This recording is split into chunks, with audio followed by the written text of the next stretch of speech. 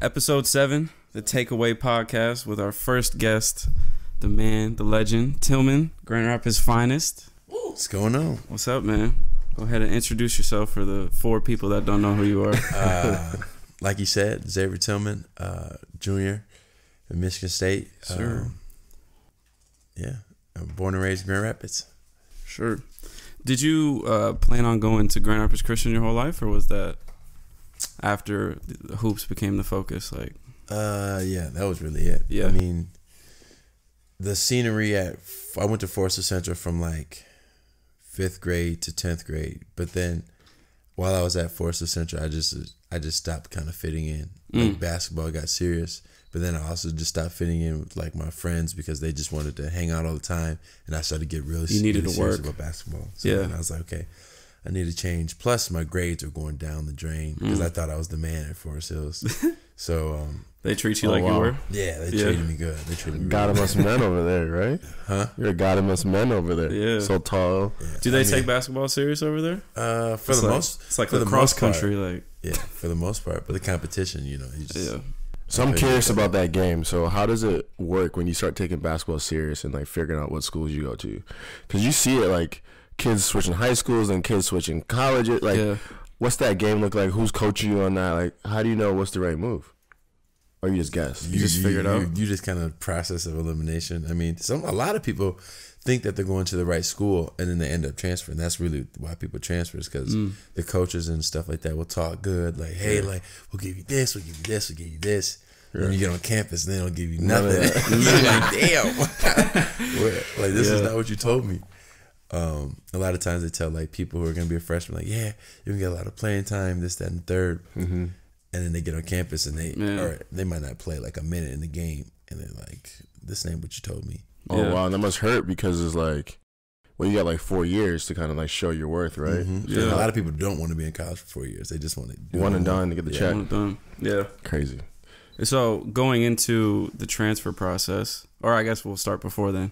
What made you choose Michigan State? Did you just grow up a fan and that was it? I was a Michigan fan my mom Really? my mom went to Michigan uh, Yeah. and played for them in college so uh, oh, she was a baller too. yeah she's nice my mom was nice uh, all American type Wow. yeah uh, she's like top 10 in scoring and rebounding for the women's. Yeah. yeah she That's, was, crazy. she was legit I didn't know you I was that cold, yo. Yeah, she was a legit. hooper. She, was, she don't even talk about it. She was legit. Yeah. She had jerseys and stuff at home. and- Yeah. yeah, she was legit. You started. I'm assuming you played her growing up, like one on one. No, So she wouldn't play. never, I never played my mom. It was so Man. weird. Like she had all this basketball knowledge. Yeah. But she, I guess, I'm my dad tried to give me a lot of basketball knowledge, even though he only played in high school.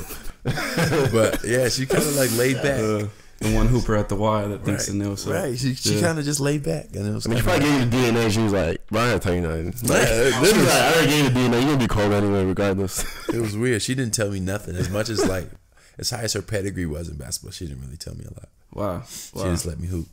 oh wow. That's crazy. Mm-hmm. Do you guys play similar? Like, have you ever seen tapes of her playing? No, No? I, I've So you don't even know how like she played. little like little little little clips that I gotta beg her to like ask somebody for. man. Yeah, but otherwise it's kind of hard to get them back then. Yeah, yeah, yeah. That's so, crazy. So talk about your family, um, brothers, sisters.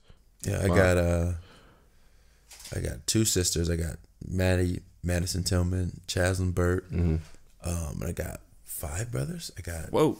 Tony, Tony Burt, Parker Tillman, um, Ben Tillman, and Archie Tillman. No, so that's four brothers. I got four brothers. So how's it like for them, in, in your opinion, to see you play at state on like the big screen? Uh, Are they like are they like, freaking They- out? Or are you still like little brother? Like, all right, bro, like cool. Like, how, it's it's they they freak out um, when they watch games and stuff like that. But then Yeah. it's crazy. As soon as they get with me, they flip the switch. Like, back, to little, back to little brother like it's not nothing.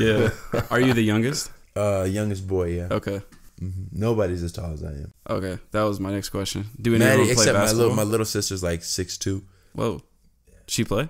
Yeah, she's big body. Oh, okay. Yeah, East Kentwood. Oh, for real? Yeah, Okay. she's, she's about to be a Hey, junior. She's about to be a time. junior. Man, Oh, that wow. women's team's looking nice. Yeah. Yeah, they started being good like two years ago. Yeah. Crazy. So then, since you're a Michigan fan, what made you choose Michigan State? I was gonna go to Marquette. Whoa. oh, Yeah. When was Uh, that? What? That was going into senior year. Of high school? Yeah, going Wow. senior high. They were talking to me the whole summer. I kind of fell off of Michigan State um, during my recruiting process, and then I was like, okay, yeah, I'm going to Marquette because the coach was talking good. Like you'll be the cornerstone of the university. Man. Da, da, da, da. I'm like, oh yeah, I gotta go. Like, Yeah, yeah. I'm about to be the man. And then um, we took our official visits, and the Marquette visit was our last visit, and it just wasn't anything like we thought it was gonna be. Mm. And then from like right as soon as we took it, uh, I was like, yeah, we're gonna go to Michigan State just because we've been to Michigan State probably like in my time being recruited probably like a hundred times. Oh, okay. So 'Cause they were just so always close, getting yeah. you up there. Yeah, they always got me up there for Yeah. football games, open gyms, or their games. And then um, she's probably been to like twenty five to like thirty when it came to like coming to football games, coming Oh, to open gym, or something like that. So yeah. so they We got were the whole family involved. Yeah, we that were meant a lot to you. Yeah. We were just comfortable. Yeah. So what about Marquette made you not like it? If you could speak on Um, that. So the Marquette campus is kind of like a city because it's in, Mo- I think it's what Milwaukee, right? Yeah, it's kind of like a Mhm. city, and uh, Michigan State is literally like of East Lansing. Yeah. That's the hub of East Lansing, Right. And I kind of didn't like that aspect, especially for Yanni, you know, my daughter, to Mm-hmm. have to like grow up in kind of like that city aspect. Yeah. Uh, and Michigan State was kind of just homey, Yeah, for sure. and we appreciated that. Talk Yeah. about uh, balancing a family, playing ball, you know, doing school. Like how do, how do you how do you balance all of it? Um, it's really to me. I just focus on school. What a good answer, man. I, I just focus on school. Yeah. uh, basketball, and then when I get home, um, basketball and school out the window. I know I'm Yeah. a family man, but like yeah. it's hard to to try to do everything at once. So I try to like whatever I'm in at the moment. Like if I'm in class, Mm-hmm. she probably won't hear from me because I'm not going to be texting. I'm trying to lock in in class. Yeah. Obviously, if I'm working out or in practice or lifting or something like that, Mm-hmm. I can't text her anyway. Yeah. Yeah. So when I'm at home, I'm at home devoted, but otherwise, I'm locked in on whatever I'm doing. And that's powerful because you know you probably have that focus by playing ball that you're able to compartmentalize. Like, yeah, just like you Mamba know. mentality type thing. Yeah. Well, it, it, workouts never get hard. yeah, like like you might get fatigued, but like when I think about them, they never get like more than just a game. Because yeah. the motivation's there. Is that yeah, what you this is motivation, but you just know like this is not life or death. Like that's life or death for me. Mm, You know, priorities. Yeah. man, Powerful. is it So- hard for you to unplug when you get home? Like, do you from sometimes like- basketball. oh, like- I don't unplug from basketball. no, I watch YouTube all day. Oh, okay. She gets so mad at me. I watch YouTube all day, yeah, or highlights on Instagram or something. yeah. Like that. Is it is it, Love it. is it easy for you to not bring the baggage of like a bad game home or like a loss? Yeah. Yeah. How do you handle loss being being you know an athlete? Handle what? Losses. Like Oh. does it affect you much? You no, get mad. not, not nearly as bad as my teammates. yeah, you're not so Oh, really? No. So spill the beans. Who's the worst? Who's the worst Gabe. loser? For real? Gabe, Wow. Gabe takes it so hard. Yeah. Him and uh, Aaron, those two are like my locker buddies. Yeah. they, they take it hard every loss. that You think have. that's just because they're young? Yeah, that's Yeah. all. I think Yeah, maturity will come to it where they're just kind of yeah, start to realize that it's just a game and it's not life or death and Yeah. stuff like that. Oh, wow, Yeah. yeah. That's a crazy perspective that you have. yeah. I mean, it's Oh, a yeah. It helps outlook. with like the the whole aspect of like pressure. Everybody talks about pressure, Yeah. but like pressure is if I'm not able to feed my family. Yeah. Pressure is not if I miss a shot or not. And that's funny because I feel, you know, I feel similar to how you feel. Like when people ask me about what I do, how hard it is, I'm like, bro, there's like bigger things than like a day to day. You know what I'm Yes, saying? Like, yeah. Yeah.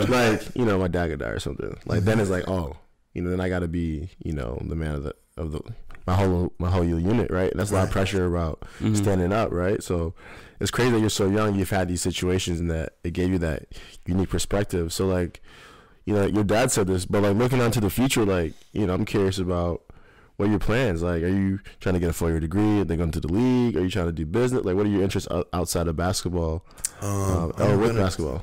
I'm gonna graduate a, a little bit earlier. hmm Uh, as far as my credits are right now, I think I can get done before senior year starts. So like the summer, or not the summer, but the fall going into senior year, I could be already be graduated. Oh wow! Yeah, because I've been taking like classes year round. Oh wow! Um, yeah. So if I'm here four years, work on my master's degree, try to get that hmm Yeah, before I'm actually done. Mm-hmm. yeah, But I have a degree in communications, just so I can like. I love speaking and love talking, comfortable talking. So, try to do something with that, like on E ESPN, like Yep. first take or something Yeah. like that, and just talk about basketball the whole time. Man, Oh, dope. that'd be the dream. That's so Yeah. dope. I Yeah. watch it all the time, so might as well talk about it. Might as well be a part of it. Right. Right. So do you have aspirations going to the league or not really? Absolutely. Okay, Uh, absolutely. I mean, that's why I play basketball. Yeah. Because I want to go to the league. I'm not playing at college for no reason, right? Right, right, right. You don't even when you grow up, you don't think, "Oh man, I want to go to college." No, you want to go to the league. Yeah. So I'm assuming, of course, you've seen the rankings. You guys see that you're number one. Mm-hmm. How does that affect the mentality going into the season? Like, Uh, is it harder to stay locked in? None of the preseason stuff really affects us. It's just what happened last year, how we didn't win a national championship. That's all we think about. So every workout, we're locked in. you Yeah. know. Every uh, film session and weightlift, we're locked in because we want to get back to the same spot and finish the job. Yeah.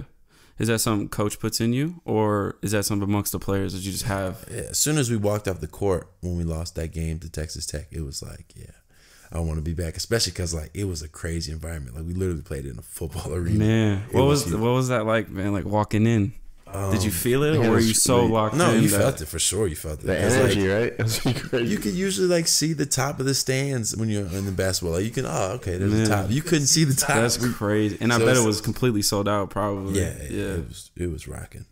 that's crazy. That's a, that's an event that I need to get back to. Yeah. like, like high energy. Um, And get a win there. Oh, so you thrive off that. yeah, what? The yeah. cheers, oh the wow. crowd, yeah, you Yeah. thrive off that. If there's nobody in the stands, as a basketball player, it's hard to like get yourself up for it, especially if you're not playing against a top level team. Yeah. because you're just kind of like, oh, well, ain't nobody gonna be watching. Yeah. yeah, so it's like a practice or something. Yeah. yeah. So talking about last year, obviously you had a big breakout season. Um, how does coach come to you, especially when like Ward gets hurt, right? And then it's kind of your time to step up. How does coach come to you, or do you already know that like Or it's, you just it's waiting, my time, like- and you know? He was Or does he come it. to you like and sit you down and like, hey, I'm gonna need you to step up, you know? Um, it was more so like I was. I, I think the games before that I wasn't playing really well, Mm. and I was like, okay, like man, like I've been putting a lot of work this summer. Like this should be my time, right? Like Yeah. dang, like I'm I'm ready, but I'm just not making shots. I'm not shooting a lot. I'm not really doing a lot. Mm-hmm. So then I'm like, man, like what's going on? And then next, you know, Nick gets hurt, and I get an opportunity to, to like start and play like serious, serious minutes. Yeah. And then I'm like, okay, then I got to take advantage of this. And then it wasn't even coach, but it was the assistant coaches. They were like, well, are you renting or are you buying? And I was like, what do you mean? Mm. And they're like, this position right here, this is up for grabs for you. Are you going to rent it for a couple Man. weeks till Nick gets back? Or are you buying it and you're not going to give it up? And uh, I kind of had that Man, mentality. that's a good on, question. Man. yeah. And I try to like lock in from there on out. Like, Yeah. I'm going to try to lock in for my team and Yeah. lock in for me personally because I put in a lot of work that summer. Yeah. That was your opportunity to shine. hmm Yeah. I'm curious about hype and other players. Uh, how does that affect you when you hear hype and like are people actually really as good as they come off like a Zion or like are they really that good or is it all just hype? highlights are a mug. highlights are a mug. Um, but they are as big. Like Zion wasn't like tall, right? Yeah. But, like Yeah, you guys are, like, the same was height, right? Huge. Yeah. Like, he was huge. Um, who else was really good? Um, Yeah, that's a good. Who was I like your toughest matchup? Like I play guys. Have you heard of Naz Reid? he's um he's a No. Big Ten guy, right? Uh, no, he played for LSU. Oh, okay. He had the dreads. Yeah. But coming yep. into high school, this guy was like top five in the country, something like that. So I, I knew all about him. So I was Yeah. like, okay, you know, this is gonna be a tough matchup for me. Um, but like he just kind of chilled during the game. He didn't really play hard, and I was like, oh, well, Really? you know, Barbecue like, chicken. Yeah, okay. um, that's the thing with a lot of guys with big names. It's kind of like they they go they pick and choose when they want to play hard, Mm. and it's kind of like their downfall. Well, for me personally, I didn't have a name, so I'm like, I got to play hard Yeah. because I'm trying to get there. For them, it's just like, uh, well, if we're playing against a big team, yeah, I'll play hard, but otherwise, I'll just kind of be out there. Man, that's great. Even in the tournament, you felt like that. Yeah, even in the tournament, I didn't think Wow. like LSU, like they didn't play hard at first, and I was like, I thought they were gonna smack us At the start. of the game. Yeah, because I'm like, these guys are huge. Like I looked at, Yeah, the physical Ash. team. Yeah, I looked at Cash, like, bro, this guy is seven foot. Like I'm six eight. I gotta guard him. yeah. and um, I was getting rebounds over them and putting them back up. Like, oh, they don't even care. Mm. And that's how it felt like in the game. They didn't really care. Wow. Wow. and then you took that W. That just seems like a Michigan State mentality thing because we've never really had those recruits, you know. So it's always been something where you come in the underdogs, come in low seeds, you make those like elite eight runs or whatever. hmm Yeah. That, that's kind of been like the mo since I've been at Michigan State. Is just people kind of count you out. Yeah. You know, coming into Michigan State, like, oh, he'll be good later on, but like every season. So so my first two seasons, I've won like more than sixty games, and a lot of people can't say that. Yeah, that's Like I crazy. got friends who made me won ten games in college, and this is going into their junior year. So oh, that's crazy. I didn't realize that. That's great. That's a good track record, man. Yeah. And then, so when you decide to go to Michigan State, I'm sure you heard a lot of people at the high school or whatever, because people like to talk, saying you're not going to get minutes and all that. Have you always been able to block out negative feedback like that, or yeah, to be Is that honest, on something you I had to never even heard people say that. For real? Like not to my face, at least. people were supportive? Yeah, it's it's weird though uh, how people act. You know, you never. Nobody's ever gonna talk crap to your face, especially Especially if, if they're six not eight. if they're not on your pedestal or they're not like, you know, got stuff Yeah. going for them. You know, a lot of people like to talk down others when they're not in their face or whatever. And Right. I use I usually don't hear it. I usually don't see it. I'm not one of those guys who looks on Twitter, looks up Xavier Tillman to see what everybody else is saying about me. Because Yeah. It's good. That's a trap. man, Yeah, you don't want to get down there. I deleted Twitter. I brought it back for like a day, and I was like, I know. I finally realized why I didn't have Twitter anymore. Yeah. Because I just kept scrolling to see what people were saying about me, and I'm like, I can't. Toxic. Keep doing Yeah, that. Yeah. like in your head. Yeah. Yeah. I was listening to uh, uh that Conor McGregor interview he did on uh, with Tony Robbins. He was talking about external, and internal, and he was saying a lot of athletes let once they make it or they get to a certain level of like success, whether it's just like they won something, like they win sixty games, or like they get some clout on Instagram, right? They start that scrolling, Yeah. but also like you know let the external interrupt the internal, and he talked about that's how he lost two of his biggest fights is that he let you know the outside world get in his head. He started blowing up though. Conor McGregor started blowing up. Yeah. Even Yeah. positive and negative things going on. Exactly, Yeah. but you know, in that moment where he when he, he got to that point, two you know, two world championship, two different weight classes, Crazy. but like he didn't listen to anybody. It was just internal his team. But he got some money, he had a little fame, and he's like, oh, Conor is bad for the, for the UFC. Conor McGregor is racist. Conor like Yeah. all that stuff gets in his head. And then he, he's trying to focus on the fight. By the time he's worried about people's opinions, Mm-hmm. how he look, and then you know he starts losing. And it's, you know, it's funny how you know how you bring that up, like how staying locked in and staying focused because I thought that was super powerful. That you know, because like someone like me, like you know, or even saying like we don't have that kind of pressure. Like, people not really, we don't mm-hmm. have haters. You know what I'm saying? Like if anything, we're the haters. You go on, it's like yo, Yeah. quiet. It's a snake. He's trash, bro.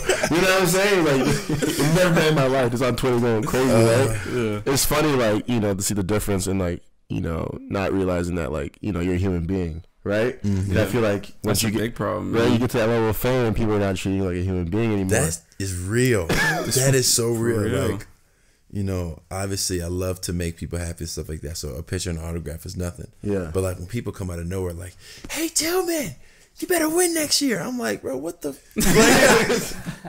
Yeah. I'm, I'm with my family. We at Qdoba trying to get something to eat. You gonna just yell that across the? Yeah.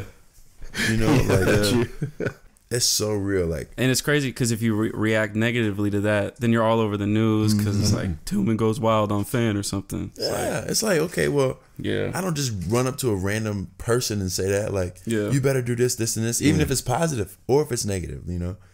But like when you get to a certain platform, you definitely feel like an animal. You don't feel like a person anymore, just because people don't respect Does you. your daughter realize what you do? Yeah, No. she's too young. No, You're, you're still his daddy, right? She's really like daddy.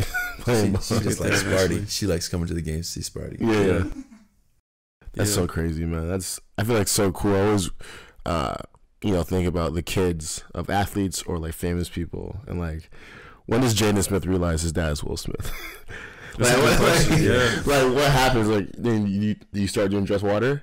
Like, oh Yeah, yeah, my yeah. dad's Will Smith. We should we should start a water company. Start a Like, Yeah. like, when does it hit you, right? I mean, Yeah. he he was in movies early on though. Yeah, what Karate Kid? Yeah, Yeah, Karate Karate Kid. Kid. And, Oh, uh, it's Pursuit of Pursuit of Ha- Happiness. Yo, that's one of the best. Oh, movies that out. was actually yeah. I, I gotta, I gotta see him. that again. I saw a little little clip of it. Will Smith posted it on Instagram, and I'm like, Yo, yeah, I That's a see We classic. run that one back. Man, Will Smith was in his bag at that point. Seven pounds. That movie, man. I didn't see seven pounds until what, what, last year or two years ago. Last That's a, year, that's seven a, pounds. That's a tearjerker, man. That'll hurt get you. heart. Will Smith is Yeah, bro, he's versatile, man. Do you ever think he can eclipse Denzel Washington though? For Will like back Smith? at yeah, or did he already? I was gonna your say. I mean, I would almost think that they're on the I same think he level. did. I think I think he Really? did. I think he has. I think Yeah? he has. You Through all his early work, I think he has. But it ain't like Denzel's like ah Denzel. It's Yeah. like Will Smith and Denzel. yeah, Yeah. I would probably. uh, They're probably both on the same tier for me.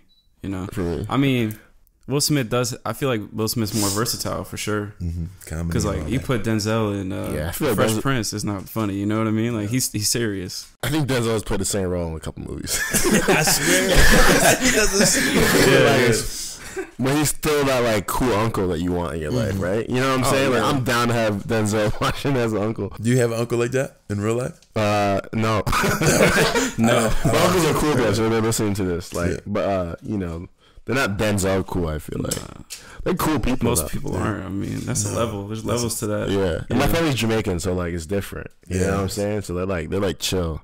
But they'll hit you with like Jamaican proverb, like Oh, weird cool. stuff. Like one thing that's big is like you can't listen, you must feel.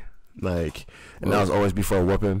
you know what I'm saying? But like You eh, can't listen. You must feel. you feel. can't listen, you must feel. Go into that. As you're getting like smacked. So you can't listen, right? If someone tells you like, "Hey, don't put your, don't do that," so, so you're not listening, right? So Right. since you can't listen, you must feel. So it means that like every action has a reaction or consequence, right? So like obviously before that, right? It's like yo, I told you not to do that. I'm gonna beat your ass now because you can't listen, you must feel. But in life too is like if you don't listen or you don't like heed or you don't Mm. like take your time, like you're gonna like that's how the world reacts. I feel like and like Mm. they have like these deep, really deep parables. You know, like another one's like. um Cocoa by Cocoa Phil's basket, right? And Cocoa like like coconut, whatever, or, or cocoa bean, like saying that little by little you can you can get to where you're going. But everyone's so like everyone's so like rushing, yeah. right? So they'll just drop this stuff on you when you're like a kid.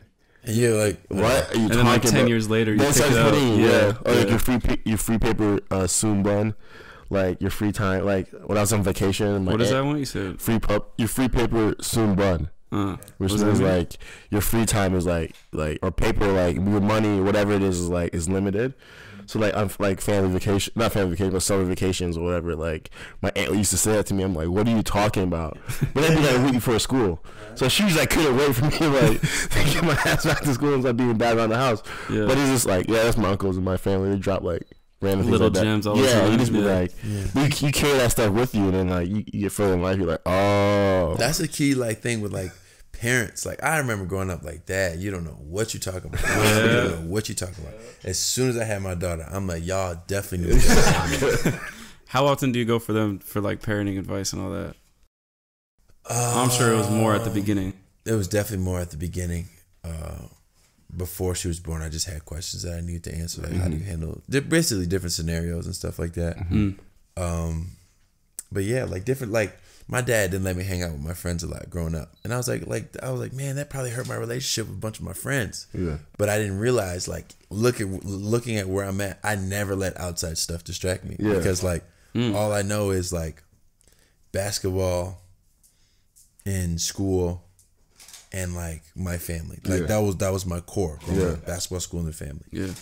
And um, like like nowadays, I hang out with my teammates when I can. But even then, like I'm still focused on like my core. I never let. Oh man, you know we're gonna hang out after practice, so let me not worry about practice. Like no, like I was always yeah, like, Man. locked in on what I had to do. It's a good mentality. I mean, it shows in the game, like your progression ever since you got there. You Mm-hmm. know what I mean? Who's been like a role model for you so far, or I guess previously on the team? Uh, Has anyone kind of taken you under their wing? it was Tum. Tum took a took my basically my whole family under his wing when we first got there. You know, because college was a scary thing. A lot of people were like, "Yeah, I don't know how you and Tamia are gonna handle it because you know there's a lot there's gonna be a lot of girls up there and you're actually gonna run into a lot of temptations." But Tum really helped me. Like we had Bible studies, and just helped me just devote myself to Tamia. Like literally, hmm. like so where I didn't think of any outside distractions. Like I just focused on her every day, every time I saw her, even when I didn't see her. And Yeah. with that, like made our relationship so much stronger. Yeah. That's talk crazy. about talk. Oh, can we talk about religion on this podcast? Yeah, we can. All right, Yeah. talk about uh, your faith and um, what you do daily to stay, you know, motivated with it. Because we were just joking about earlier. You know, I'd be making excuses where I haven't been in church in a minute. I've been in church in like, Church and then- you know, but you know, not saying you have to go to church to believe in God or you know or mosque or whatever who are listening whatever you believe in, right? Right. I just my my belief is that like people should believe in something. Like it's hard for me to trust people who don't believe in anything, Mm-hmm. um, even if it's not even themselves, right? So like for me, it's like oh I can't trust someone who doesn't believe in anything. like you have you have no compass, right? Yeah. Like all right, so you believe in yourself, cool. Let's say you believe in grass, cool. Like I'm not gonna like I believe in God, right? And I'm not gonna like you know unless you want to, I'm not gonna push it on you. But um, it's just like you know talk about your faith. Like for me too, like I haven't been to church in a while. But you know, I, I do my little things like you know I read my Bible at least you know in the morning like 15 minutes. I try I try to stay up with it. I think it just keeps like like you're saying like that locked in focus. So um, talk about like your faith in church and how big that was in growing up for you. Uh, well, growing up, you know, I probably like you, I didn't like going to church as a kid because yeah. it felt like it was forced, right? You just obviously, Wait, do you know we went to the same church? yeah. Yeah, I was about to say. As soon as I saw you, I was yeah, Yeah, yeah. But um, growing up, I was like, man, like I could have slept in on this Sunday. Like Right. Man, I hadn't slept in on Man. this Sunday until I got to college. but every That's what it is, though. I feel like you just touched on something. You The just answered- separation. You listen, my whole life never got to slip in on Sundays because we always had to go to church. And then you go to black church, you probably going for two services. Mm-hmm. and you're you, like, like you get there for the nine o'clock, Yeah. and like okay, Let's stay let- for the 11. like, my mom just it, it's, it's only from nine to ten, right? So Yeah. okay, I'm out. Let's go It's home. on. Right. No, I'm gonna talk from ten to ten forty five. It's about to start. We might as well stay. Hey. Uh, Yes. So you You go from sitting 9 a.m. yeah. 11 o'clock goes to like 2, 3 o'clock, especially if pastor's trying to go off. So from 9 to 3, so we're tortured growing up. 9 to 3, your whole, your Like whole. Sunday's ruined. yeah. You're just like this. yeah. Sitting there hungry. So Sitting there hungry, yeah, just man. like- hungry. Man. So like yeah, and then um, I guess like for me, faith or my religion is all about faith. Yeah. it's all about knowing the unknowing Yeah. Or trusting the unknown. For me personally, like I don't know this next step of my life after this season. You know, obviously I'm locked in on the season, but if it goes good, what if I got a chance to go to the league? Yeah. Mm-hmm. but I don't know like how that next chapter is gonna be for me personally. So religion to me is all about just having faith that Mm-hmm. God has got me Yeah. through any bad situation that I'm going through, Mm-hmm. and through the good situations too. Yeah. That's big. That's Yeah. powerful. You know, um, there's a what, what's that line in the Bible? Faith without works is dead, right? So you believe, and then you put in the work in, locked into the season. I think it'd be amazing if you go to the league next year. I think that'd be hypothetical, right? You don't want to live too much in the future, right? Mm-hmm. Because you know you don't want to psych yourself out. But I think that's like super, hu- like that's so crazy to me, right? That The opportunities the there. opportunity is there, Yeah. and like you know the things you can do once you get there, and businesses. And you see, like you know, I think like basketball has, you know, changed. Like you see LeBron, for example, like he's built. Now he's, He's way more than an athlete. way and like I this love that point, model, and I hate when Yeah. people hate on him. Like no, like now Jordan. Okay, he's a legend, right? Like you hear stories about Jordan. He was at the club the night before and dropped 40, 50. The next a guy like that. Yeah. So like, like you, you, you can definitely tell, like, because LeBron takes it super seriously and he's that great. Jordan kind of took it seriously and he was that great. So imagine Jordan had that same work ethic as LeBron. You could argue that he was better, but aside from that, um, you know, that that that blueprint he's building. Because I'm like looking at LeBron, I'm like, you know, like like being that having that kind of clout right in your brain, Yeah. and You still want to go. and still trying to be a good person. Yeah. Like, try, to, try to be a good person. Still like care about your family. Like Man. Wow, I mean, we said it on this podcast before. He's like the definition of a role model. Like, Yeah, if that's you're gonna point saying. to someone to like be, it's him Mm-hmm. easily. I mean, we talk about him all the time, but it's like not even all the businesses he runs. It seems like are for profit. Like the school he opened up in Akron, that's just like for the community, for the love of the game and the love of kids. Yeah, So- I mean, when you when you try to wrap your head around it, it's so hard. You know, oh my God, he's in a movie, he's producing movies, Shows. um, shows, commercials. Yeah. you're like, okay, well, Training how do you do? teams. When are you working out? Like we Yeah, doing yeah, all when this. do you like- have time to do all that stuff? Yeah. And it's just a process. Like year by year, he does like something little, something little, something little. Mm-hmm. Yeah. To when he's 34 years old, after being in the league for like 15, 16 years, he can open a school now. Yeah. You know? Yeah. So like for me personally, like I want to give back to Grand Rapids, but I can't do it right away. Like it's got to be like little camps here, little camps here, little camps here, little camps here, and then maybe have my own gym come the year 16, year Right. 10, whatever. That's the biggest thing when you start encountering success. Like you start realizing, um, and it's such a weird concept that you got to be like kind of like selfish before you can be selfless. Mm-hmm. And that was like the hardest lesson I've learned probably through my like journey too. Is just like, oh wait a minute, I can't bring everybody with me right now. I'm not at that level. But in your brain, you'd be like, oh yeah, bro, yeah. But then Yeah. you're like, wait a minute, like I ain't even got that much bro. money. I, can't- I can't even feed. Like I can Yeah. feed you, but then I can't eat. exactly, you know. Yeah. So I feel like a lot but people see, probably see you when you when you get to the league, they'll be like, oh.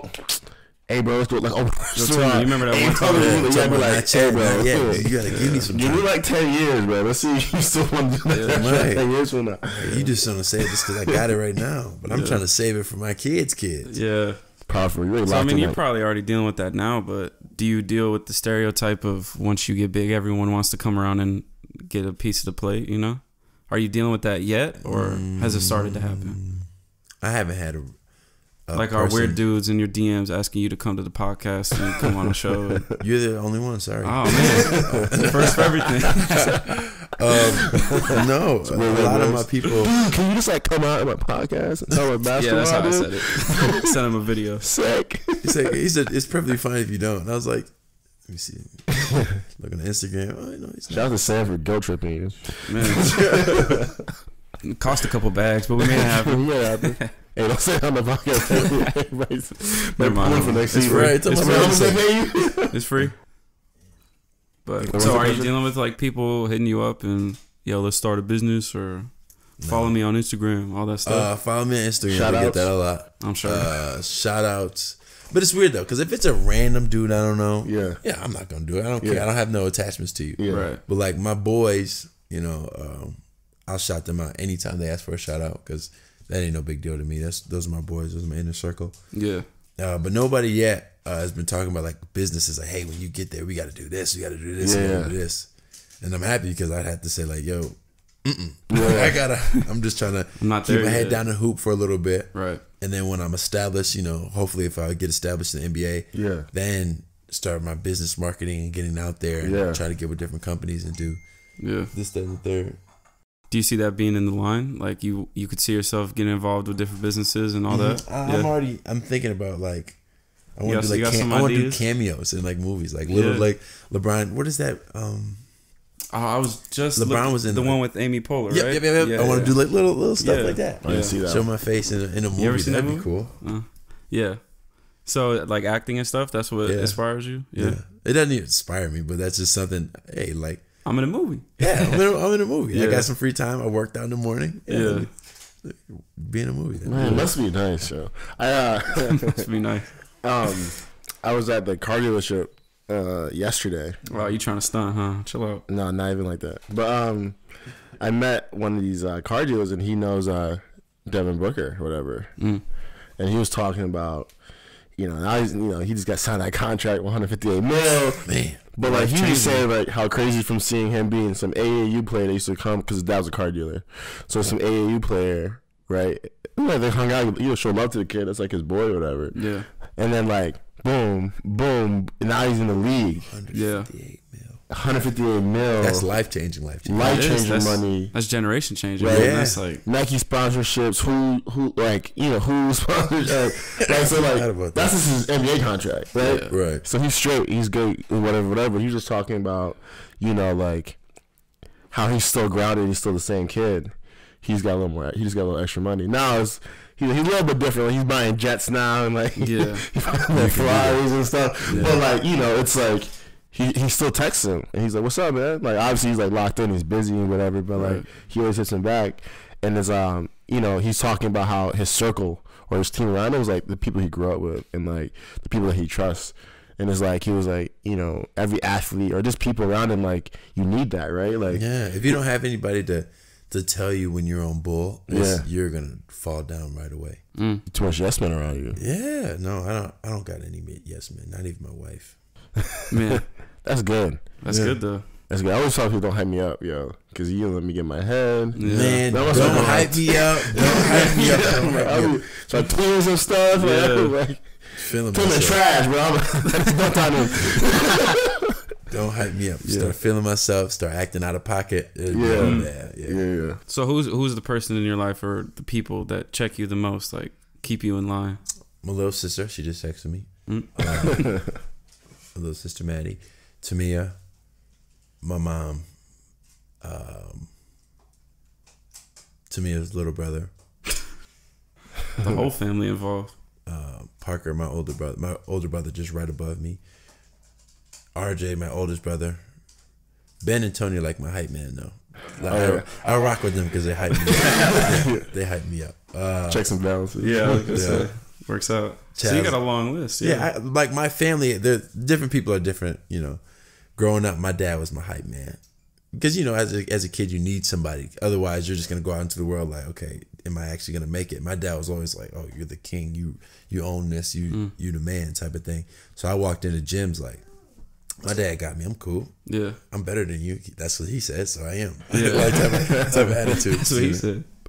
Yo, Yeah. talk about that as because you're a parent, and we just joked around about that, like, because you know, Sam's parents are like super supportive and mm-hmm. like, You need that as a kid. right? I feel like that's like the biggest edge, right? Like, you know, you may when you're just growing up, you're like an awkward, like, you're 12 years old, you're taller than everybody, right? And then just kind of like your dad's like, yo, you're you're the greatest. You're like, Right? oh, what? Like what? Imagine that instead of like It's a dad's like, different you kind of so confidence. clumsy. Yeah, like, like, like, I couldn't imagine my life without like supportive parents. My life would not be what it is without supportive parents. Because when I, whenever I went through something bad, or when I had news, hey, I'm having a kid, like Yeah. Yeah. they were so supportive of it. You know, they're Yeah. like, okay, we're gonna get through this.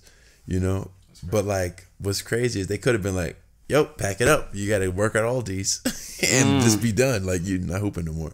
But they really could have said that. You Yeah. have to be a man and and stop playing basketball and stop having fun. Like you Yeah. need to just. And they're like, no, like we're gonna get through this. We're gonna help you take care of her. That's so you know, powerful. Uh, for what? The end of our my senior year, they lived with me at my mom's house. Oh wow, Yeah, so it was. that's so powerful. So they responded well to Yeah. you had a kid and all that. Yeah. Yeah, it, I don't think like we even we were so nervous to tell them. Like we're just like, okay, I imagine. Yeah. they're gonna kill us, you know. Um, but no, they were just really like accepting. it. My mom was mad at first, you know. Obviously, course, like, yeah. dang, like you you were kind of on a roll. But no, she she definitely uh, helped me a lot. Yeah. Not only with like money, but like with advice and the, and with taking Yanni for a weekend, so me and Tamia could be like college students. Yeah. That's Yeah. big. Yeah. That's so powerful. So like, what, what kind of music you listen to before a game? Or do you listen to any Ooh, that's a good question. Are you, are you like are, you, are you meditating? Are you doing yoga? Like what? So I, Drinking I kombucha? Like what's your? I've been uh, I've been like watching a lot of like like not necessarily like different stuff on E ESPN, but Yeah. like but on YouTube on like what different players do, right? Yeah. And Kobe was like, it's different every every game. It's Yeah. a feel. It's like it's a vibe kind Yeah. of thing. So sometimes he's like, I need to get motivated. Let me turn on something that I know is gonna hype me up. Yeah. Or sometimes he's already so excited for the game. I don't even need music. I just gotta just kind of chill like this because I'm already ready to go. Yeah, you're if. I get music, I'm gonna be overly excited and, Yeah. and come in the game and do something crazy. So it's kind of just a vibe. Um, right now, I'm listening to the Chris Brown album. Really? Indigo. That's a long Yeah, album. it's it's a long album, Yeah. but I don't know why I mess with it. But I just mess with it heavy. I mean, hey, there's a reason why he's at where he's at, man. Yeah. Chris Breezy. All right, let's talk about this for a second because um, shout out to Bert. Uh, and do the shout outs again. but uh, Bert and I had a crazy argument about Chris Brown, and like he was like, he he said something like, you know, like oh he's big as Michael Jackson or whatever, or like his crazy impact, right? And I was like, yeah, but you know he had an instant with Rihanna, and I feel like as soon as he did that, like. For me, as like as, as a Chris Brown fan, like Didn't Mike have an incident? Yeah, he had a few with the kids and all Yeah, that. A lot of I mean, scandals. But listen, okay, so Yeah. have you ever watched the Aziz Ansari special on Uh-uh. Netflix yet? He talks about this. He's talking about like R. Kelly. He's like clapping you're done with R. Kelly, and like everyone clapped, right? And he said clapping you're done with like um, Michael Jackson. Like a couple people clapped, Mm. and it's like okay, where do you draw the line, right? Because I, I feel like you you compare, you know, and it's probably not. I'm not gonna sound like the best off from saying this, but the Rihanna situation with Chris Breezy and then the Michael situation, like which one is like if, They're if they're both both are true, which one was like kind of right? It's hard to rate what's worse. I mean, it's a kid, but it's a woman at the same. But like, not the, the a- biggest difference is that there's proof that Chris Brown did what he did, Right. And people still debate to this day if. Michael Michael really did actually did anything. You know what I mean? So that's the biggest thing, and it, that goes back to um, And Michael has like probably more hits. Yeah, I mean, like you can't make thriller. I, I think you can't make thriller like yeah, like Chris Brown Criminal, is a like, superstar, like- but I mean, have you heard Kiss Kiss? Him and T Pain. yeah. That's a hit. that is it. yeah, like Chris like Chris Brown is a superstar, but you like Michael Jackson was like it's like Beyonce level. Like you know, there's a difference to me between Chris Brown and Beyonce stardom wise. Yeah. You know, Well, P- yeah, Beyonce's like huge.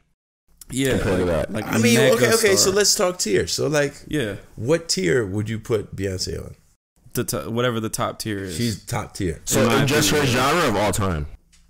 What- what- what's- Just, just, Just just, like right right now, now. right now, just right now. yeah, I mean, she got to be okay. there. So we're just going off. We were talking about this last week. Yeah. Ed Sheeran Ed is like Sheeran's the highest all earning artist on a yearly Right? Basis. but then How much? Shape What was of the You, number? though. What was the number? For a second, What was the number? that grossed 432 million on tour. What? last year. I guess his tour is just him with a guitar, Yeah, so that's all his. right? So- but you like Ed Sheeran's not that big, but you think about Shape of You, you're like, Shape of You was like, huge. Yeah, I mean, he I got a was of in London and songs. playing Shape. Well, obviously he's from London, but I was just saying like, Yeah. oh, that's, that's not that crazy actually. But like, it's just funny, like you know, you hear it here, but it's like, wait a minute, and then like you look at numbers, Jay Z and Beyonce combined only and only the 257 mil. But like that's huge still. I thought they were billionaires. No, but like uh their tour, they Like grossed. the, Oh. the money they made from touring last year. How much? You know how much Chris Brown made?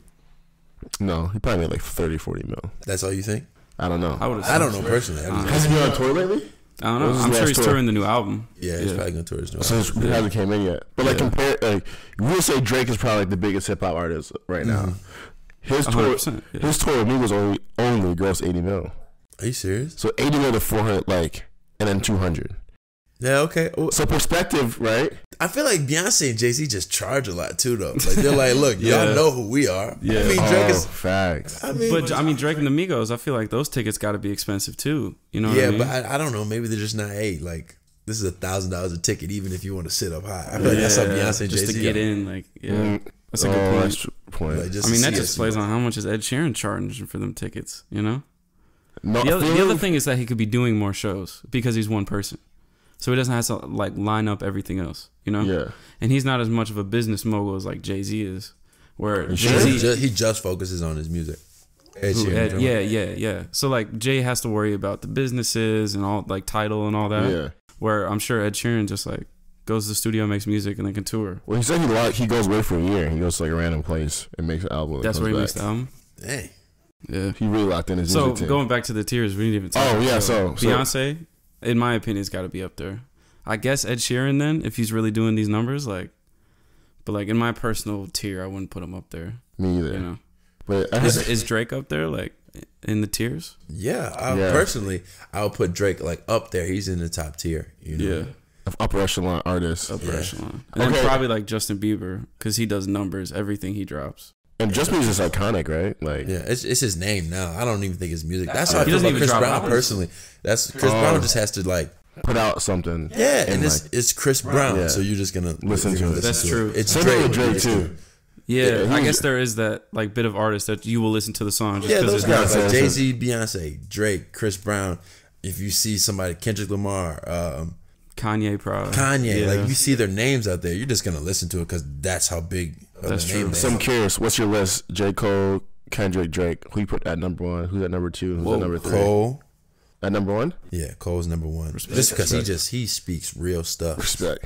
He's coming for it too. he's a storyteller, man. Yeah, and I'm and I mess with that, especially like when I had a kid and he talked about having a kid. I'm like, oh yeah, that's my life. Yeah. yeah, because he lays everything out. Yeah, that's true. So J Cole, and then Drake because I grew up. Drake was just classic for me when I was growing up, especially the never was. Yeah, the same our age, Yeah. like he's not even. Yeah, um, And then Kendrick at the three No. spot. Oh, Kendrick is down. I'm putting Future right after Drake. wow. Oh. Still, Yeah, we Plot had this twist. talk the other day. We were talking about the the mystique of Future has kind of declined lately. Because his last thing he just dropped. I'm, in my opinion, these last think you just have three to be- haven't been high. Well, okay, so Ooh, you you didn't my- mess with the wizard. Not No, really, not bro. really, bro. I'm not I don't lie. think you're not. You're just not a like like. I'll I have to was a back. devoted Future fan, regardless of what he put out. Yeah. like it was at that point where like I'm just gonna listen to like it. core future, or like future future. Like that's that's like I'm like I love future on the future. Right? Like, like but I don't think I love his projects that much. Nah. But he does the numbers though. No, I mess with I mess with his projects. I mess with his features. Anything that future. If, if future is on the song, day. if he just said like, yeah, like ah man, that was a hit. like I mess with future. I don't know, I just like the with way I look at it, like Dirty Sprite 2, and then he did the collab with Drake, and then I just feel like ever since then, like, What? in my opinion, bro, he's To me personally, slowly I don't going even met, like Dirty Sprite 2. Obviously, I know every song to it, but like I don't really like. You don't consider that his top, like his best work? like no, no, no. Uh, Hendrix to me personally is his top, his top music. Hendrix, and then that was the like Wizard. three years ago, yeah, Hendrix, something like that. Two, three. Yeah. Okay, okay, we're all allowed to have our own opinions. Yeah. I- So I'm that's a three, and then Future. what else? Who else is on the top five? I five? say? Drake or J Cole, Drake, Future. Future. Uh, uh, it's it's only the album. It's only the um, Love Letter to You three, Trippie Redd. Really, Trippy Wow. Red's in the top five. Listen, That album. That's That just album. because of Love that Letter album? to You three. Okay. That's it. listen. Tribute, he's he's weird. He Yeah, looks definitely weird. weird. He's weird, but like, yo, he has hooks and he has bars. His hooks are real though. He really good. hooks yo. are hard. You hear Topanga? Yeah. Like, bro, Yeah, his hooks are how, hard. like, how do you even come up with that on that beat? Right. Like, uh, Topanga, I'm like, okay. But like, even thinking that like, you know, he's supposed to be on God's plan. What? Yeah, but like he was messing around. He's supposed to be, Drake wanted him on God's plan, bro. I didn't know that. Whoa, bro, So that I- song's at like a billion views right now. That would have skyrocketed him. He messed up. I don't know why he was playing. I don't know. He got serious. What? Yeah, Buckled you down. Bro, That I better be like, your best Drake verse ever. track, bro. Straight, huh? That that better have been his best verse ever if he was about to get on God's Right? plan. That's He was crazy. probably scared. Like, oh dang, bro, I Yeah. cannot mess this up. Yeah, that's true. But I, I've been listening to Trippie Redd a lot. I'm like, wait a minute. Like, some songs are like, okay. But like, his hooks and he has like his melodies, like he knows how to put a song. I think out of the like the new generation, he's like one of the best. Yeah, he but I think his like the way he's branded is not helping him out. Like they're not branding him as like an artist. What are they branding him as? Like this, like you know, goth, sad, emo rap kid. Mm. Which I feel like is part of his like energy. But like once you put him in that world, like you're not expecting good music. You're expecting like hype. You're expecting like a, like you know. Yeah. I think they put him Yeah, as yo, true. like like how, how YBN Cordae came on the scene. Yeah. And they put Trippie Redd like the kind of same way. His own image, of course, like do his thing. But like you look at YBN Cordae, you're like looking for some real music. You're looking for some a young kid with some content, Yeah. a good hook. He has more bars and melodies, I say, than uh than Trippie Redd has. But I think Trippie Redd is is a hit maker just as good as Post or um Tory Lanez. I mean, He's it's, just- it's hard to that brand argue with that. Like, Yeah. yeah, Tory Lanez is definitely slept on. I feel like. Hundred percent. yeah. For some reason, he gets a lot of hate. He's just one of those guys. Like Russ, we were talking about Russ earlier. He's kind of the same way. Like Yeah, I don't people know. just kinda, Russ they just kind of get a lot hate on him to hate on him. Yeah, Like, Russ is a lyricist. Lyricist. He's See? yeah, he know he knows what's up. And like, I saw, smooth. I was just talking to him about listening to Russ on that Joe Budden podcast, right? And Mm. like, you know, because I, I got off Russ for a little bit.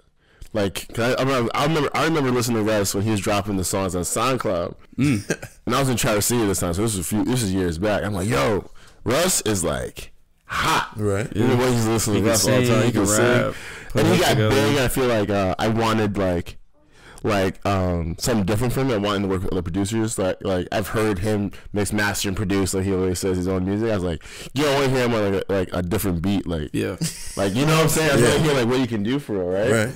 But then you can't like when you start getting all this bad press. I'm like, yo, Russ is like. What was he getting bad press for? I didn't see. There's like people like saying people like hate his personality, F. his Russ or, like, arrogance. Like, Oh, Yeah. I mean, that's how we that's how we talking in the songs. Like, I don't need nobody. Like, I'm good. Yeah. He's good. Self made. Like, okay. Yeah. I mean, I get that, but Yeah. you got to talk about it all the time. Yeah. yeah. I mean, we talk about it all the time. Like Logic always reminding people that he's biracial. Like people Right. just get annoyed of it eventually. Mm-hmm. You know. But it's, I think it's their truth, right? And like Yeah. they're you gotta to storytellers. that. You gotta be true to your truth. And he probably Yeah. bought into the story, you know. But listen to the interview, like I saw like why he was kind of like, you know, why he's like that. Like he really like made ninety four songs before he hopped off. Yeah. Like you cannot make ninety four songs and then not brag about yo like I made ninety four songs and no one listened to my shit. Yeah. But he Nobody. Yeah. but I continue to do it, right? I put I drop pull the trick, whatever. That's right? that's that's faith, and that's pu- and that's that's a lot of faith and dedication. Because think mm-hmm. about it, you made ninety four songs after song one. Well, maybe not song one. After song ten, if you don't get no love, you're like, okay, bro, this not for me. I gotta go do something else. yeah, Yeah. But ninety four 94 songs. His dad was just believing in like your craft. Like, Yeah. that's mm-hmm. crazy. His dad company goes up. Like his dad tried to start a company, didn't work. His mom's not working, so like he's under pressure. He's like taking care of shit. Man. So like I see why he's like when you learn that, then you see like why he's out here like yo, you can do anything you want. Like fuck everybody. Like have that mindset. Like mm. That's You know? really what it is. And a lot of people like, okay, well, I'm working at a factory job. Okay, well, the amount of time and the amount of hours that you put in that factory job, you're gonna become the manager of the factory job. Yeah. And after a couple years of be doing that, you're gonna become the owner of the factory. Like it Yeah. takes time. You takes just have to believe it. You gotta be patient. Gotta be. That's patient. something I've always talked about with like athletes. Like people love to say, "Oh, if I was LeBron, I would work. I would work 80 hours a week." Like, yeah, it's easy to be 80 hours in the gym if you're making millions, but it's like you're you're working at wherever you're at, and you don't even go to work. Like you mm-hmm. no call, no show. So it's like, do you really work hard, or are you just saying like you would if you made a lot of work? a of lot money? of people think like like there's a reason people are where they are. Like obviously you say you're god gifted right? Yeah, but like god gave you talent but god didn't literally pick you up and make you run to work out. He didn't lift your arms up to lift the weights. You know what i'm saying? Like that people still put in work. Mm-hmm. a lot of people think like like i know six eight people who are chilling yeah, they're like I don't like to play basketball. That- that- That's not what they do, and they don't really have ambition to be the best they can be. They just kind of chill. so right. like my thing is, whatever you're doing, if you have ambition, it'll take you crazy far. yeah. Talk about that work ethic for a little bit. In your opinion, like you just touched on it, because I, I think I run into it. You run into it a lot. Like, yo, I work my face off every single day. Mm-hmm.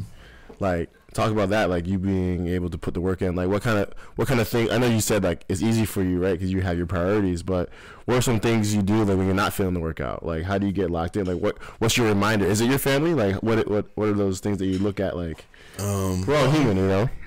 So what? It was going. It was a period after my se- after senior year basketball season was over. I had like a a month before I had to go on campus at Michigan State. Yeah. And you know, season's over, so it's literally a month of doing nothing. Yeah. Mm-hmm. Or or you do whatever you want. Yeah. And I was like, well, I don't know what to do. How do I get motivated to go to the gym? Because nobody's telling me. Because the coach is like, well, yeah, we'll see you in May. And my high school coach was like, yeah, I had a great season. So nobody's pushing me to get better. Yeah. Mm-hmm. You know, my mom is working. She's worried about my little sister now. My season's over. Yeah. Type of thing. Yeah. So I'm like, okay, like I gotta figure out what I'm gonna do. And I watched a lot of motivational videos Yeah. to get up.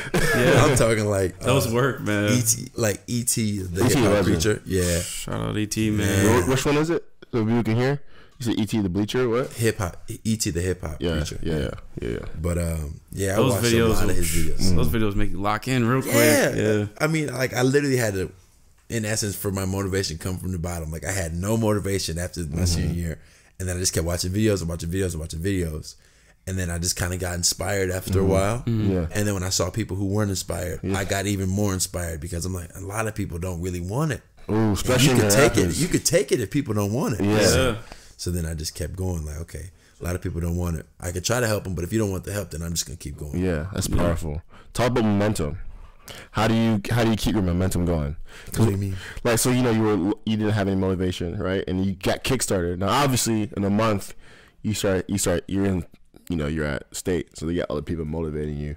But you know, I talk about this idea of momentum. I feel like a lot of people talk about it. Like once the balls gets rolling, like a snowball, it can turn into like you know a big. Mm-hmm. It's a habit. right? So, how, what what are tips and tricks to keep the momentum? 'Cause I always tell, especially my friends that make music, right? They'll drop a song, and I'm like, yo, you gotta keep making music. Yeah, you can't wait for people to tell you how good it was. You Yeah. drop your music, send it out there, get back Yeah, in, and drop another one. Yeah, And they'll get a little clout. Right? They may have like a hot song, chill. and I'm like, yo, like, can I tell them like it's so like once you get momentum, it's harder and harder to get back up because you have a new bottom.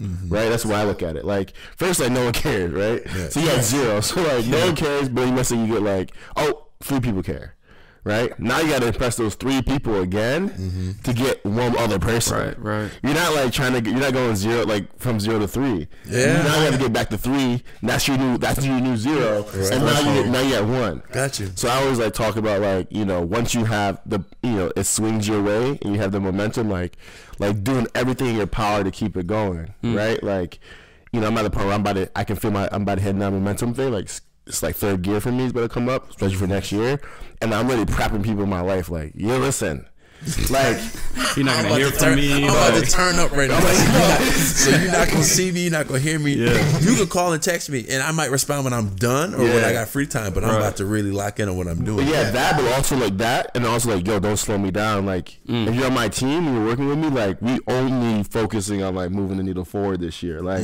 cause like, you know how much work's gonna take me to get back up to this. Like, Yeah. I'm Yeah. not trying to, I'm not trying to do that. Start over. I'm not trying to start at 50 and that that'd be my new zero, and have to get back to 50 again, and then start over. That's how it was basketball. So like, uh, whatever. I'm at zero up until eighth grade. I got my first name. I got my name in the paper my first time in eighth grade. So I'm at zero. Got my name in the paper. Then I keep going. Get some notoriety in high school. Get some notoriety. Um, uh, senior year. By senior year, I'm up. I'm like, oh yeah, I'm the man. Yeah. Go to Michigan State freshman year. Play. Uh, Eight minutes a game. you know, like, man, bro, this is like, like, like now I'm working for myself again. Like before, I was working to impress these people. Yeah. Oh man, like I'm the man. Yeah. Now ain't nobody see me play anyway. So like, yo, okay, I got to start over. I got to Yeah. restart my grind type of Right. thing.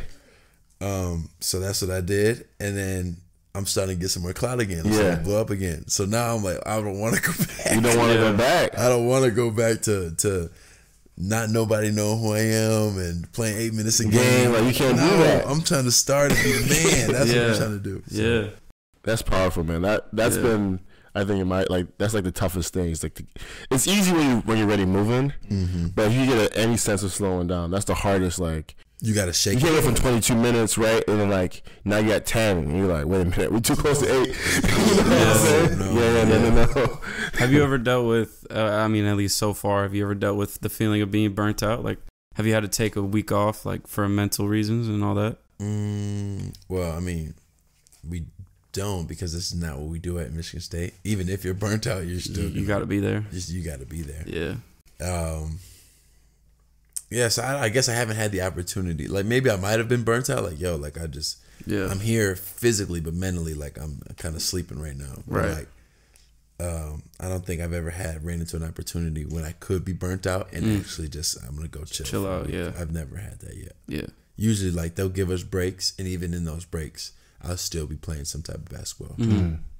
It's probably 'cause you love it too, right? Yeah, it's So it's totally different for you. Like, I mean, it's not different for you, like, but It's like it's kind of like. Yeah.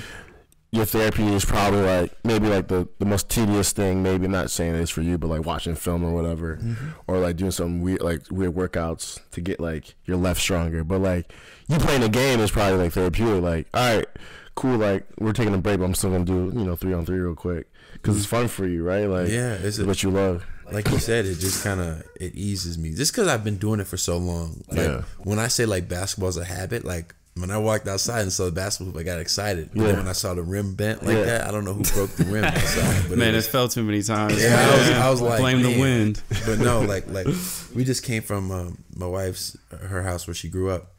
And She has a basketball hoop. Whenever I see a hoop in a basketball, It just makes you want to play. man, like my eyes like light up. Yeah. Like I remember I took like an hour outside literally just to go shoot, just to shoot around. Man, Like that's just kind of it's like your me time. Like, Yeah. yeah, yeah. One thing I wanted to ask you about um, was so Izzo made the news last season for yelling at Aaron Henry, and Mm-hmm. you know everyone thought it was this big deal.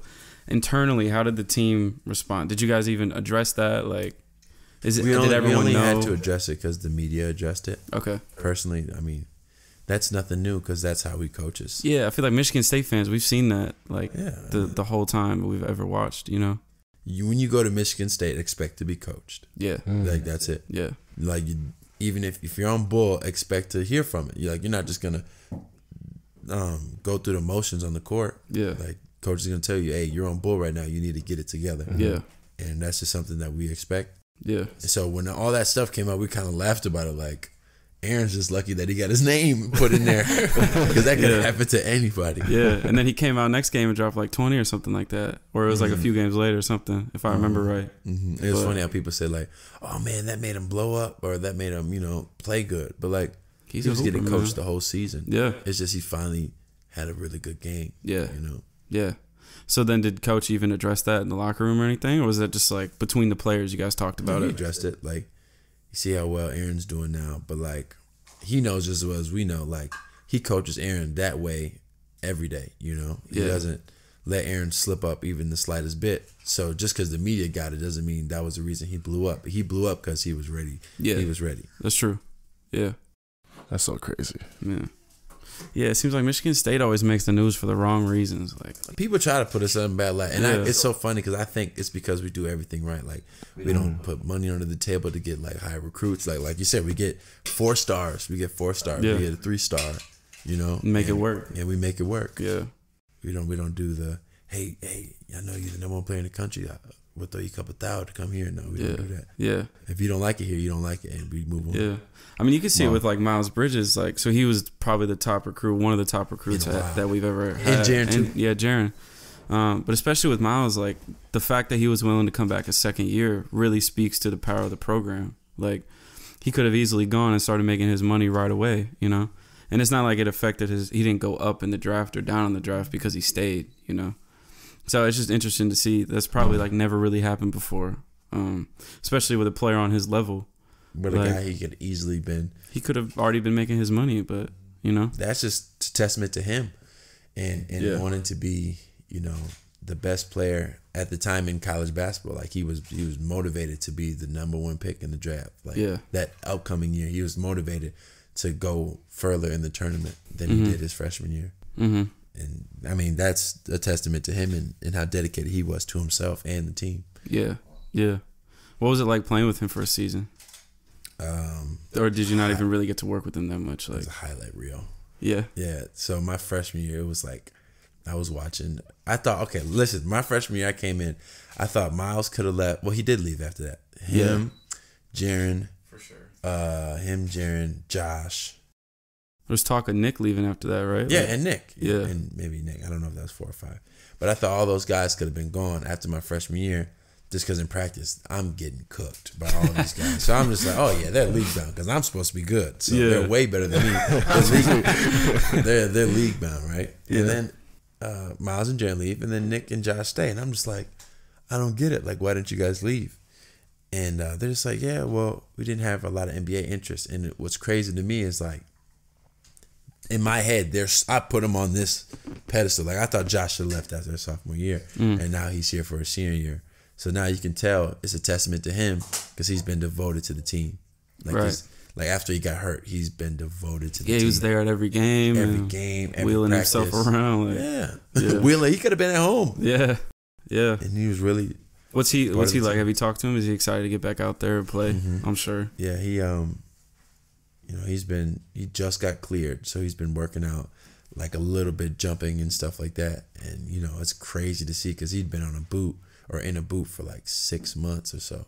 Yeah, So I'm like, yeah, like I'm not going to see Josh play till like September and it's July and I see him jumping a little bit Mm. on his jump shot. So it's pretty cool. to That's. It's good. powerful. That's good. Yeah.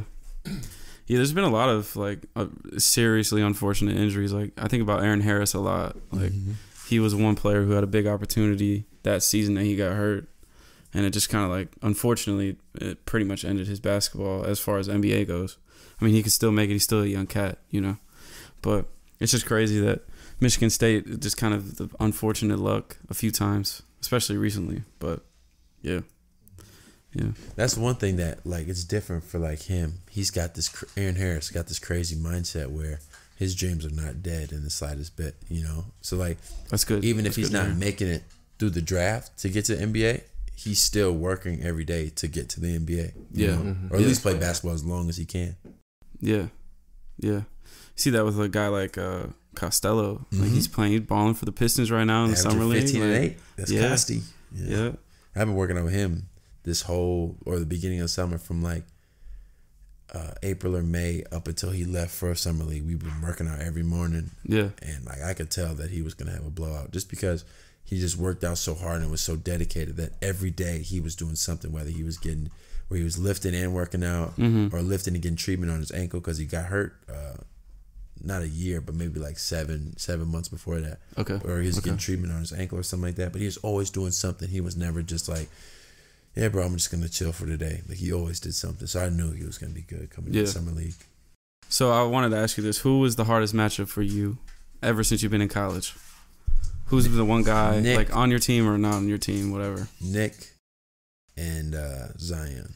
Mm. Hmm. Nick, because he's so much bigger than you. Yeah, it was weird. Like Nick's got like a crazy one on one game, but it ain't like he's got like hit you with a pull up jumper, hit you. No, like he knows how to make reads. So like he hit me twice in the chest with his shoulder, and I'd be like, okay, dang, that hurts. So I'm gonna like get tensed up now. Right. So as soon as I'm about to tense up, he'll spin right off me. I'll fall to the ground. He dunks it. Mm. Or like he hits me twice. I'm like, okay, I'm gonna keep backing up so he doesn't hit me. Hook shot right over my head. Like he's just cerebral in the one on one aspect. Yeah. So he was. Oh wow. It was hard. apart. It was hard to stop him my freshman year in practice and stuff like that. Sophomore year, I started to get a feel for him. Okay, like I know what you're gonna do. I'm gonna Yeah. force you to use your right hand because your left hand is automatic. Yeah. And then Zion, obviously, just because of his That was Physique. your matchup, right? In that Yeah, game? yeah, yeah. Yeah. because of his physique. I didn't know. Like I was kind of excited, you know. Um, Nick was telling me for the game, like, "Hey, bro, you got him," and I was like, "Man, I got him." You know, thinking like, "Yeah, I got him." of course. I, I was saying it, but in my head, I'm like, "Damn, I got him." I like, Yeah. what was it like, man? Like, Um, I mean, just, obviously everybody talks about him, but I just wanted to do the best I could to limit him, so I knew he's gonna get some highlight plays. That's just how he is. But like, Just as long as he doesn't dunk on you, yeah, that's it. even I, I was expecting to get dunked. Yeah. Unfortunately, Kenny took the rap for that. Yeah. But like, in, we watched film on him, and he drove left a lot. Like he just made a move right and drove left, and then just did a finisher. So I was okay. Coach said he only goes left, or mostly only goes left. So I play him for his left hand every single time. Like he's gonna go back left, and if he goes right, he's just gonna have to dunk it because I'm not letting him Because you're left. yeah sitting on his left. Right. So in the game, that's what I kept doing. And I kept seeing he just kept wanting to go left, kept wanting to go left. So I'm like, okay, like I can stop him if he goes left. But if he goes right, that's a wrap. Yeah. And then um, I was just gonna let him shoot threes because I knew that uh, I'd have a better chance of him shooting threes than of him coming at me in, in, to the basket for offenders. So Yeah. he was a tough guy to guard, mostly because of his physique, though. Like boxing him out and stuff like that was crazy. Yeah. Yeah. That's Wow. crazy, man. He's bigger than everybody else. Yeah. Big bully out there. 285. Two Right? eighty five. I think he's three hundred now. People say. For real? Yeah. He put on 15? He put on more? Mm-hmm. Um But like, now I don't know if it's muscle though. I think it's because like New he's, he's been contract, in New new Orleans. money. Eating that gum. eating that good combo. yeah, yeah. Did you ever play any, play against any guys like that in AAU growing up? Mm-hmm. Any big names and all that? Mo Bamba played against Man. him at Peach Jam. He was, really, he was really good. Um, you know, Did you ever play against uh, Devin Booker, or was he too old, too much too older old, than you? too. I, I never played against Devin Booker. Throw some names out there. I might have played against him. Bam Adebayo Really? from Kentucky. I played against Is- him. That's he, he was on a my hard team. matchup. He was on Oh, my team, and I played against him. He was huge. Yeah, that's a big boy. He reminded me of Dwight Howard. Mm. He- Like the bounce and the Built. Yeah, yeah. But he's got a little bit. What about your game. teammate uh, Duane Washington? Did you guys play together or against each other growing up? Like, what was that like? I want to tell you I played against him somewhere, but I don't think I. It's maybe always. Oh, I just played against him this last year at Ohio State. I think that was the Yeah. first time I might have played against him. Yeah, him. what was what was that like? Like seeing was- someone you grew up with. that and- was great. yeah, You know, because he's in my inner circle. Him, Yeah. Duane Washington, James Beck, Seth Milner, uh, Jalen Sartor, uh, Christian Rodriguez. Those guys are like are my circle for basketball wise. yeah, And to see him on that level and to play against him like that, like I was just happy for him. Even like Yeah. obviously you're supposed to like root against your opponent or whatever in the game, but I was so happy just to see him on that level. yeah, yeah. You know, so Talking a little cool. trash to him or nah? Yeah, a little bit. Yeah. You know, but really, I was encouraging him, like, yeah, yeah, be aggressive on just because, like, I'm like, this is my guy playing on this level. Like, I want the best for him, type of thing. Yeah. Yeah. Did you pretty try to push him to go to Michigan State? Or Yeah, I wanted him to. He wanted to go there bad. They never called or anything. Um, he couldn't play defense. He loved to score. Like he's he loved to score. Yeah. But he, defense wasn't his priority. Mhm. And for us, like we check. That's what we do at Michigan State. We play defense. But he was just. I mean, he could score the ball at will, Make it shoot. but he didn't want to check all the time, and Mm. that was kind of that kind of hurt him. yeah, Mm. yeah. Was there anyone else? You, I mean, wasn't uh Marcus Bingham? Didn't he play with you in high school for a little bit? Wasn't he a Grand Rapids Christian? No? Catholic. He went to Catholic. Oh, Central. okay. So you guys played against each other a lot. yeah, twice. Man. my no, I played against him. Yeah, my junior and my senior year. My junior year, he went to um, Ottawa. No. Yeah, he might have went to Ottawa. My junior. year. Transfer to Ottawa. Yeah. Okay. Or no, he was he started off at Ottawa. Oh, okay. Hills, and then he transferred to Catholic going into my senior year. Mm. Okay. Yeah. And Okay. um, So were you guys friends because you knew that you probably would have ended up at the same place? we didn't really become friends until we got I got on campus. Okay. Yeah, and then he was visiting stuff like that, but we weren't really that close to him. Yeah. Oh wow. What's it like with him, like playing against him? Because I mean, everyone talks about his potential and all that. Like, are you trying to be his mentor and all that? Yeah, he's got crazy potential. He just needs like the right guidance. Um, he's one of those guys who kind of just goes with the flow, whatever the vibe is, and that could be positive or negative. Yeah. And uh, he's one of those guys I try to put under my wing just because he's got crazy. He's got guard game. Like you should see his Yeah, hezzy. He, hit him, he hit you with a hezzy, and you're like, bro, you seven foot. You're not supposed to be able to hit me Yeah. with a hezzy. Hit him with a hezzy, boom, step off three. Hit, like one of the better three point shooters on our team, and he's a Really? seven footer. Yeah, man, he shoot that thing. he's got a big opportunity this season too. hmm Yeah. So right now our starting four spot is up because Kenny left. So now you got either Mm. Marcus or you got Thomas or you got Malik Hall. Yeah. Yeah, yeah. Are you excited about the, the freshman class incoming? Yeah, I mean, uh, Rocket's like he's pretty much a social media superstar at this point. So mhm. he got crazy followers. yeah, yeah. Um, Has he gave you the juice? nah, Gave you a little shout out yet? I ain't asked for it though. It'll come. Yeah, It'll come. It, it'll come. But that's my young dog though, so I don't really, you know, try to get cloud off him or anything like that. Yeah. But uh, I'm excited for those guys. I'm always excited for freshmen because freshmen is just the unknown. You don't know Mhm. what they're gonna bring to the table. Like last year, I didn't know Aaron Henry was gonna blow up like he did. Yeah. the way he played and stuff like that. You know, I would have thought it was Marcus based off like high school rankings, hmm but Marcus barely played because of his weight. You know, Yeah. He's put on like a good amount of weight, yeah, he right? weighs like two twenty five right now. Okay. Yeah, compared to one ninety when he got in. That's or crazy. one, yeah, one ninety I think it was. Man, 30 pounds or something like that? That's Mhm. crazy. So Yeah. he's definitely gotten a lot stronger. But like, it's just the unknown with freshmen. So I love when freshmen come in just because you don't know what they're going to bring to. the Because you know what they're feeling and all that. hmm Yeah. Nervous. They're, every practice, they're nervous as hell. They don't want to make a mistake because coach is going to chew them out. Yeah. But that's part of being a freshman. Like when you get older, you want to get coached, but when you're younger, you don't want to make any mistakes. Mhm. So hmm Hmm. Talk about like growing up getting coached. Like, was there probably the high school coach, but was there anyone who was super impactful on your trajectory going forward that you can Uh, call? Like, Eric Taylor, we call him ET. He's the head coach at Grand Christian right now. When I was there, he was the assistant coach, okay. but he played at Oakland and played overseas for a while. And he was uh, one of those. He was a big mentor for me to help me stay dedicated in school. hmm Uh, and he worked me out a ton while I was there, just because he knew the game so well. Yeah. Um, Yeah. He was a big mentor for me. Um, you guys remember Drake Harris? Yeah.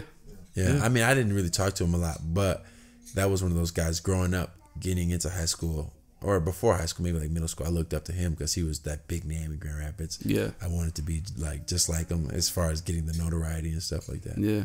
Yeah. You talk to him now? Not as much. I mean, No. I didn't really get a chance to know him. So you know, my brother Tony, those those two guys are really close friends. Okay. Yeah, but otherwise, I don't really talk to him. Yeah. Hmm. Yeah. So I want to know about the the Michigan Michigan State rivalry. Like, what's it really like on the court? Like, you guys It's- talking trash, like yeah, extra elbows, all that. it's bad. Yeah. And like my freshman year, I'm like, I don't understand it. Like we were in the locker room, like, man, Michigan, da da da. da."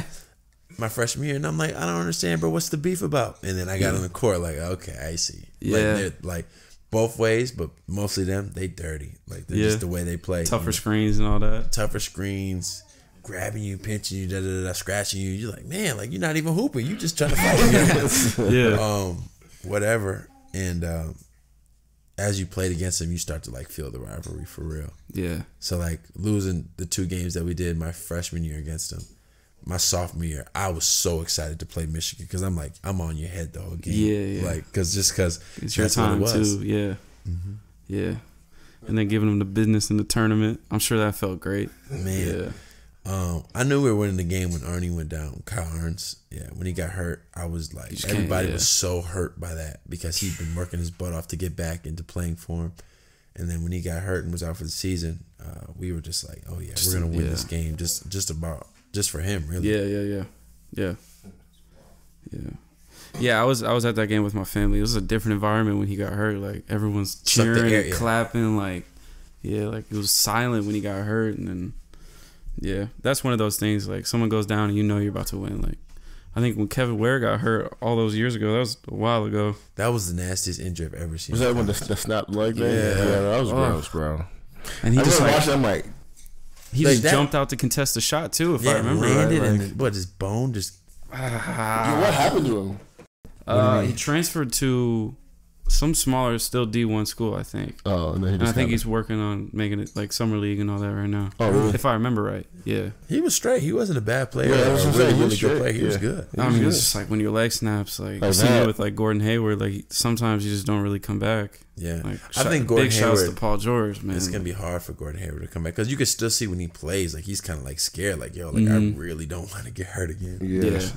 But you can't even blame him for that, man. That's just like a freak accident. Yeah, Yeah, like you I can't. was- I mean, that's what's crazy about Paul George and how his past two seasons has gone. You know, or I guess past season. Like he's he really had the best season of his career following a devastating injury like that. Like Like that's what we talked about about being like the momentum, and he his Paul George's momentum he was on the up. was like on the Yeah. up. That Yeah. was Paul George. He was 24 at the time. That was Paul George, number 24. Like Yeah. everybody was like, Yeah, yeah, he's for real. Yeah, yep. Yo, He's for I still real. got the Pacers jersey Yeah, upstairs. like bro. When I he was in love on- with Paul George. Yeah, the Pacers were getting hella TV time, bro. Yeah. He was like, wait, He was there. They're battling with the Heat. Yeah, They he were- was carrying them against the Heat. So Like, they're like, oh yeah, Paul George is like, like Paul George is about to be the man. Because who'd he dunked on? Who'd he dunk on? I it, guess. was, it was like LeBron and uh, Birdman. Yeah, yeah. took him up, big body, Yeah. but man, that's one of the craziest dunks I ever seen. Mm-hmm. So like, where everybody's like, yeah, Paul George is on the up. Like Paul George is like all star da da da, and then he gets hurt, and they're like, With well, practice too, man. It's like, in the USA. Go back from Yeah. zero again. like That, that literally built back from zero. He said he like obviously when you go through injury like they said he wanted to quit. Yeah. And it's crazy to me to even think about like just quitting basketball. But when you really can't play a game that you love, Yeah. mm, you it's hard to say like, all right, bro, I guess I'm just done. Yeah. Because you Yeah. think you are like I'm never gonna get back to Yeah. where I was. yeah. Look at him. Especially because you see it a lot. Like people snap their leg, they never are the Come same. back. You yeah. know. It's hard to come back from something like that. This is Yeah. traumatic in your head. Yeah. Yeah, yeah. Speaks to his mentality. Like Clippers 2020, man. Yikes. You got to dip. Yeah, I did. All right. That's it. Uh, thank you for coming on, man. I appreciate Absolutely. it. I think This is I don't know how long we talked, but it was a while. We talked for a minute. So Yeah. episode seven of the Takeaway Podcast. Thank you for everyone who Big tuned man in. Till came through. Yeah. Yeah. Dropped Catch some y'all knowledge on us. Peace. Yeah, you want to come to the camera? No. We tried. We You tried. try- You sure? You sure? The the people want to see you. You just come say hi real quick. No. no, okay. no. She's not. Okay. It's all good. All right. Okay. Thank you, everybody. See ya. Yeah.